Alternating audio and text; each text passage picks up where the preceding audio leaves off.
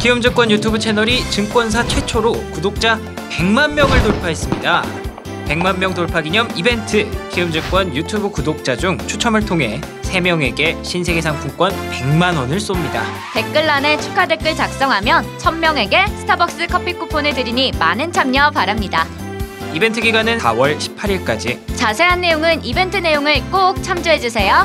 100만 채널 키움증권 유튜브와 함께하세요. 함께하세요.